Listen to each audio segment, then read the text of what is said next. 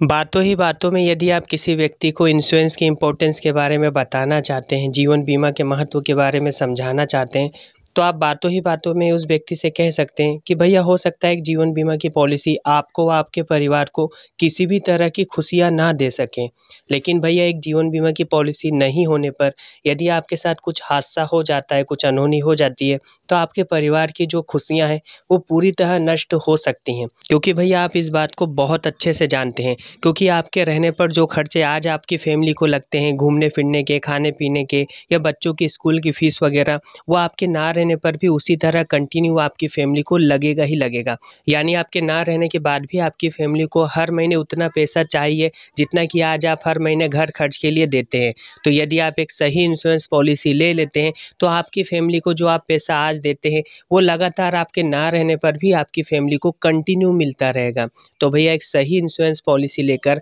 आज ही अपने परिवार को आर्थिक रूप से सुरक्षित कीजिए। तो दोस्तों, जब भी आप किसी व्यक्ति से इस तरह से बात करेंगे तो उस व्यक्ति को जीवन बीमा के महत्व का पता चलेगा, उसे इंश्योरेंस की इंपॉर्टेंस के बारे में पता चलेगा। और वो बहुत ही आसानी से आपसे एक इंश्योरेंस पॉलिसी लेकर अपने व अपने परिवार को आर्थिक रूप से सुरक्षित कर लेगा।